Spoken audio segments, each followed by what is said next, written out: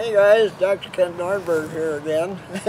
Out in the woods in my backyard here and uh, bringing another uh, uh, whitetail buck hunting seminar. Uh, and this one's a nitty gritty addition to uh, what you need to know about ground scrapes. Now, ground scrapes. you know, I've mentioned it before.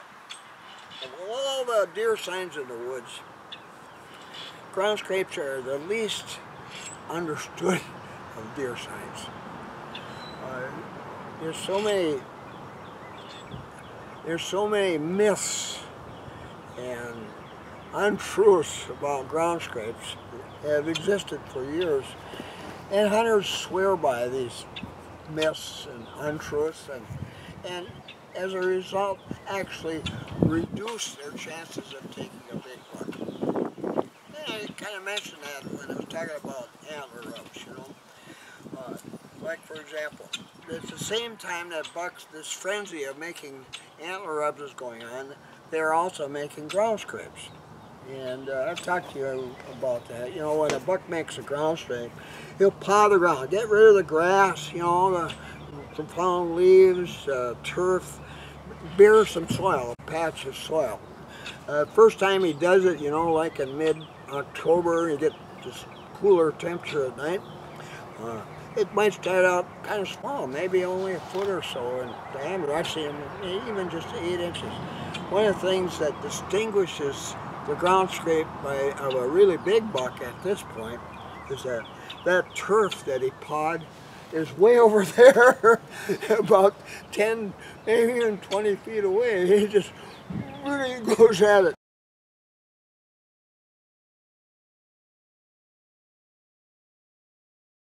This guy is, you know, he's really showing his temper.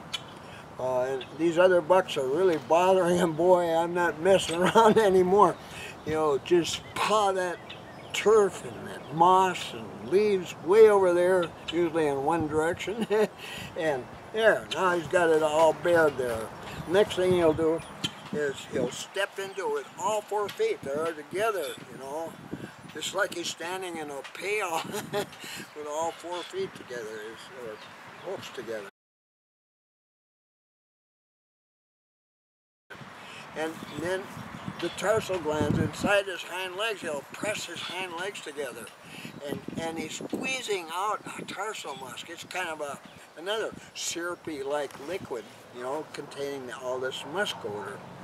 And some bucks, not all of them, uh, when, they, when they're there, will start wagging, wagging their rear from side to side. And that, may, that uh, creates a rubbing motion between the tarsal glands inside the hind legs.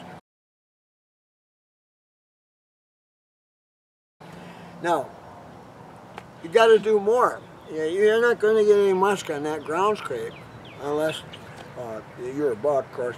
You urinate on your legs, you know, straight down with your legs together like that, and the urine runs through those tufts of hair, that bulging tufts of hair between the hind legs. Urine runs through that, picks up that syrupy liquid containing that musk odor, and carries it to the ground. Now, the, that buck accomplishes two things. He gets his own identifiable, identifiable to other deer, is identifiable urine on there, which has an odor, rank odor of its own, and, and that musk as well. Now he's got musk on there. Now, the musk that's coming out of that initially is pretty potent stuff. Now, here on this map, my, my square mile map here, all these green spots are ground scrapes. And like the antlers, they're at strategic spots. And what's kind of amazing about it, you know, I've been studying whitetails now, habits and behavior, hunting related habits and behavior for since the 1960s. These spots that dominant bucks use to make ground scrapes are commonly used year after year after year. I've known ground scrapes that have been made in the same spot for 40 years.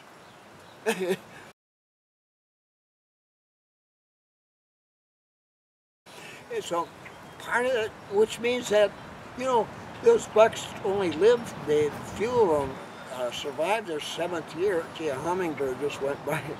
A few of them survived their seventh year. So many generations of dominant breeding bucks have been using the same spots year after year. So, and then while during this same period that uh, uh, they're making all these ground scrapes, this two week, two to three week period before breeding begins, they're renewing those scrapes at least once every 24 to 48 hours because they want that stinking musk and their urine, they're fresh, as, as fresh as possible every day. So there's no doubt in any other buck buying that.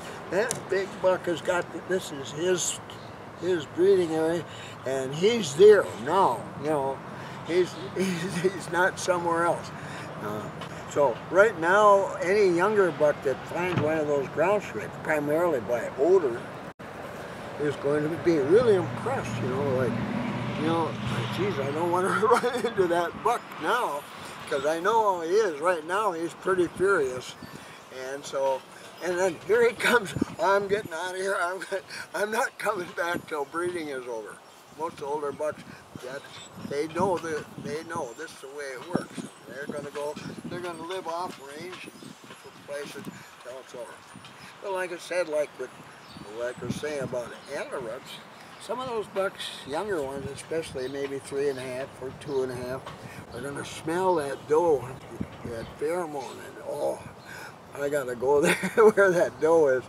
And so they go and end up in trouble with the buck. So, uh, yeah, so they'll sneak back. But anyway, we the same thing happens, you know, when the big buck sees that that uh, an intruding buck coming back, one of the ones that normally lives on his range or anywhere else for that matter, he's going to be furious. now, like I mentioned uh, when we were talking about antler if if that happens, he's going to go. If there's a, a, uh, a one of his ground scrapes really nearby, oh, he's going to go march right up to that, and he's going to, boy, he's going to be tossing snow and turf and leaves and everything well to one side and he's going to get on there and urinate on there and get more musk on there and then typically they're under overhanging branches sometimes they're just next to a small tree and they rub their musk on that smaller tree next to the uh, ground scrape but what if it's on the over one well boy now there's that buck I'm going to show him what's going to happen. He'll get up there and just demolish the branches overhanging his, his uh, ground scrape. I he ravaged this little pine tree, busted it off, knocked all these upper branches off. He rubbed a little bit on that one. See, took some off here. Similarly, over here, more rage rubs. He rubbed on it briefly, probably just swept his antlers back and forth, and he. So it's kind of the same kind of thing, you know. But once breeding begins, like I say, the 3rd, the 5th of November where I hunt, depending on which square mile you're in. Uh, he doesn't have time for this anymore. So when you find one in November, you know, and it's really fresh, that's a dynamite spot for stand hunting. Oh, that is so good. Especially if you're like me and my sons. we use our portable stools, you know, with the back straps on them, and we're maybe heading somewhere else, and we said, come up to one of those, and oh my God, you know, this is exciting. yep, well, you don't talk all loud anyway. That's exciting. That buck is close by, and there's another one. And I've seen those other ones quite a few times, you know, smaller bucks. Sometimes it's just a yearling, some little forky. Boy, that buck big buck really flying by and, and before you even had a chance to get your gun up there gone. I've had that happen you wait wait and so I must be going back some other way and then also trees running back again toward where the doe is. And uh, I've seen that many times over the years. And so there's all kinds of things like this going on. But, but anyway, when you find one like that, back off. Just stay 20 yards away. Don't put your scalp scent there. Don't put any doe and estrus lure scent on the trees or anything.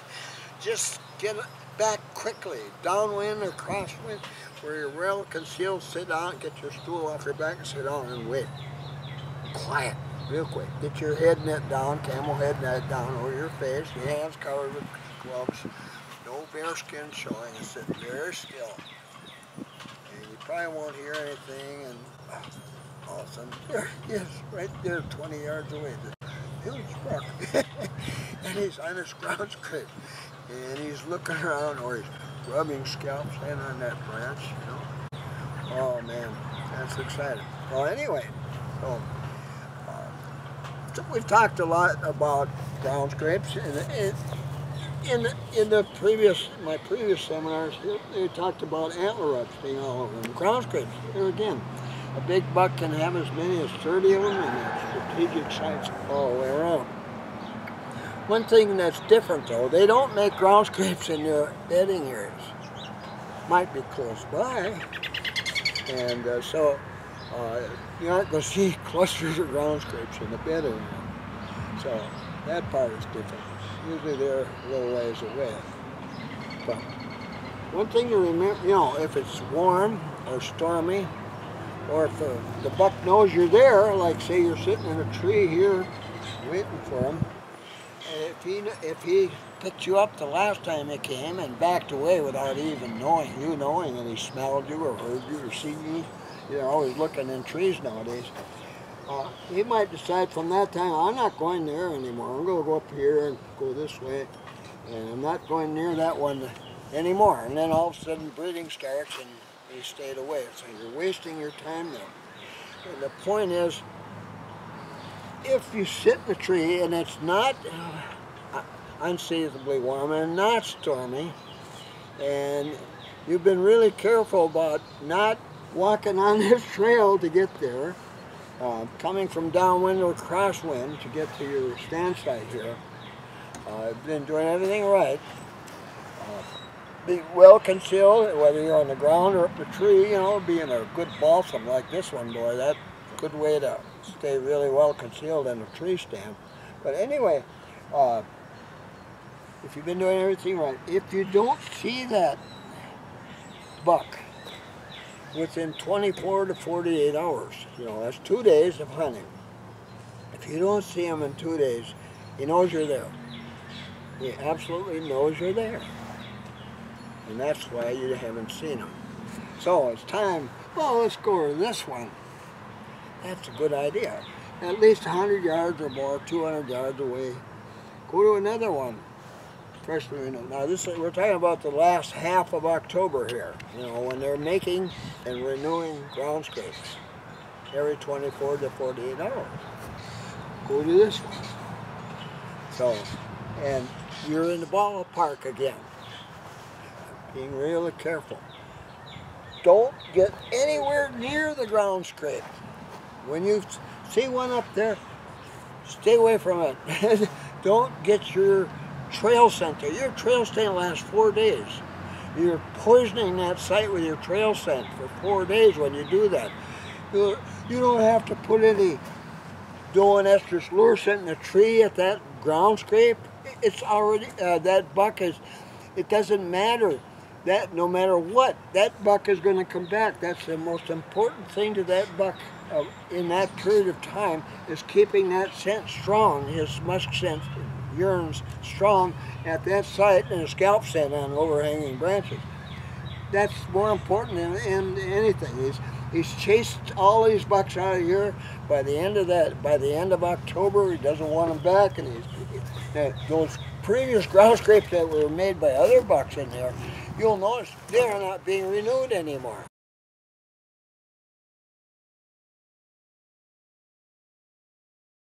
If you're sitting at one and it's not being renewed of me, there's a there's a chance that see that was made by a nice buck, maybe was a four and a half year old, uh, before the big buck chased him out of there. Now he's not coming back anymore. So don't waste more than two days at any ground scrape where you don't see a buck and it's not been renewed or it's not been renewed. Move to another one, but do it carefully and don't don't rattle antlers, don't use a grunt call, don't use anything. Just sit there and be very quiet downwind or crosswind. And your odds will be much improved for taking a big buck in a ground scrape. But it's got to be very recently renewed. It isn't, it's not a dominant buck ground scrape. It's got to be renewed every within every two days. So keep that in mind. Now, breeding starts. Don't waste your time at ground scrapes anymore. Don't waste your time at ground scrapes anymore. Unless you happen to find one that's been freshly renewed in November. If you do, that's a dynamite spot. But otherwise, most of these won't be renewed then. Because that buck doesn't have time for that anymore. He's with these does. Hard time for him.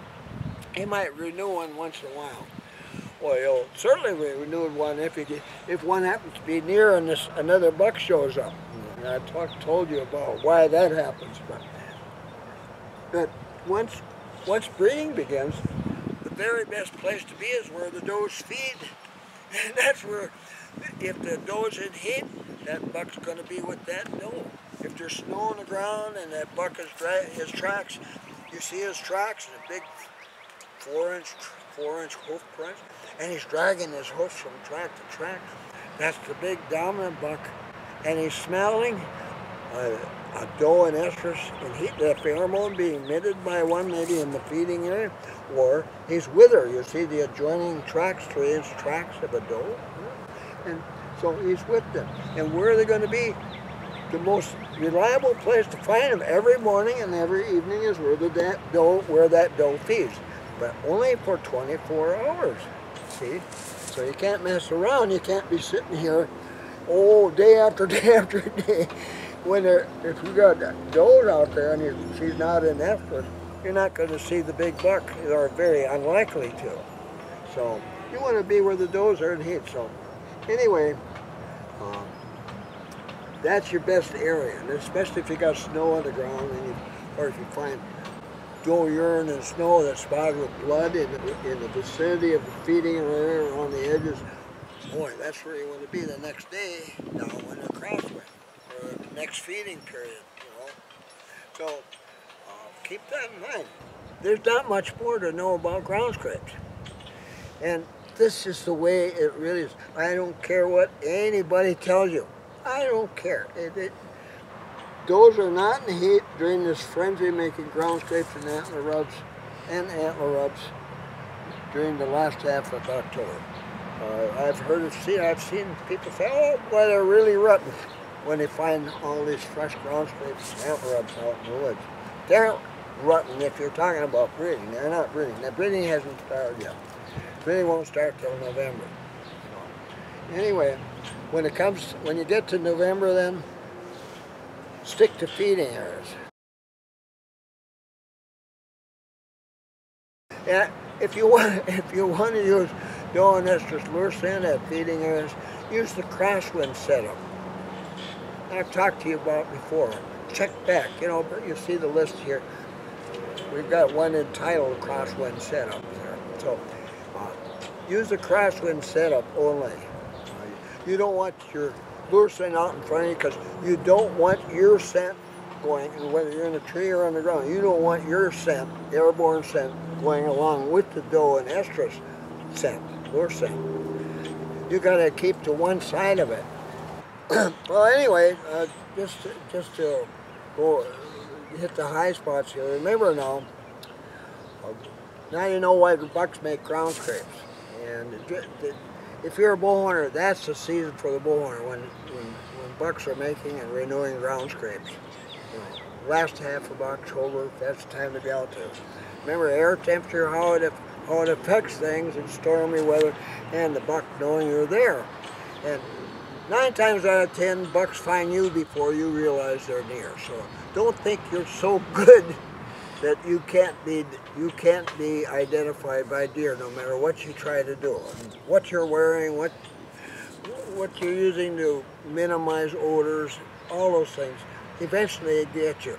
Especially, you know, when you're hunting close to a trail that's being used, regularly used by a big buck. you're at a place where you're uh, set up for being discovered by a big buck.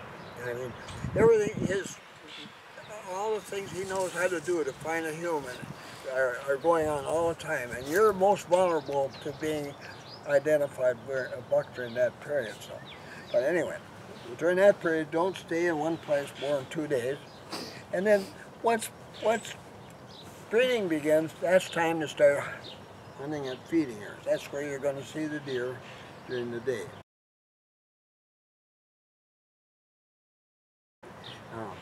Unless you find a very fresh ground scrape made sometime in November while feeding is, uh, breeding is going on. One exception. So there you go. Now you know all about ground scrapes and antler rubs. Then the other thing is, you know, when you're out there, you're picking out ground scrapes, you know, during this period, there's going to be quite a few uh, initially. Like, like say here in Minnesota, gee, gee, we had just frost last night, and you go out to, geez, they're all over the place. This is when the guys come running out of the woods, boy, are they rutting, but they aren't. But anyway, you find them all over the place, and it, sometimes it might be kind of hard to decide whether this is made by uh, a lesser buck, the one that's not dominant, or the dominant breeding buck. But after, by the time you get, oh, about a week before breeding begins, by that time, most of these other bucks that have been living in there, including the yearlings, will be chased out. Now the yearlings are kind of a problem for, because they are still dependent on their mothers for direction and leadership times of danger. So they're going to be sneaking back. So that buck is always looking for these other bucks, and yearlings have got to keep chasing away. The, next, the following year, the yearlings will know better after they've been chased away enough by a big dominant buck. But anyway, when when when about a week before breeding begins, you'll find lots of scrapes that haven't been renewed. And the reason they haven't been renewed is because they were made by bucks that were chased out. Those, those bucks are off range somewhere now, hiding. And uh, they'll be back about 17th of November, just like magic, they're back in our in our hunting area uh, because breeding is finally over, or the first of the three breeding phases of the rut is over at that point. And they're back. And no problem, the big buck won't chase them away now anymore. So they're back. But meanwhile, don't spend time at ground scrapes that haven't been very recently renewed, like within the last day or two, or maybe hours. Yeah, hours. So anyway, uh, if it was just renewed, he might not be back here for a while. Might be not till tomorrow, but you never know. so he might be going by there to get to others that he hadn't been to, so you don't know. Depending on wind direction and things of that sort. And never hunt upwind of a ground scrape. Ever. Ever. Now, as far as hunting is concerned, antler rubs are not, uh, you just can't depend on it. They don't, uh, bucks renew them now and then, but not so regularly, so predictably as ground scrapes. Ground scrapes are regularly renewed. And a lot of antler rubs aren't, you know. Some, a lot of them are just made once and that's it, goodbye, I'm all done with you. and, and, and even if they aren't, it's hard to tell if they've been renewed yet. Mostly what they do when they come back is put more scalps on them and that's about it. You can't tell. So I, I don't like to depend on antler as a stand site. But ground scrapes, highly dependable during that last half of October and November if it was just freshly made. Just for that short period. It isn't going to be that way for the whole hunting season. You find one like that in the woods. You don't spend the rest of the hunting season there. That's only good for today and maybe half of tomorrow and that's it. Okay? Well, there you go, guys. Well, this is my big, been my one big chance since the coronavirus got a hold of us and and uh, it's been kind of fun to come back and talk about these things before. And you see, I haven't slowed down not a bit. So anyway, I don't know when I'll be able to do this again, but when it happens, uh, you'll be notified. If you're, you know, if you've subscribed, you're going to be notified immediately. And Dr. Nordberg just just submitted a new one, and you'll be able to see it right away. So, with that, uh, thanks for watching, and be sure to subscribe. You know, push the button. Doesn't cost anything. But it's important for my future on YouTube, so I want you to keep doing that. And also press that thumbs up button as well. With that, thanks again. We'll see you again soon, hopefully.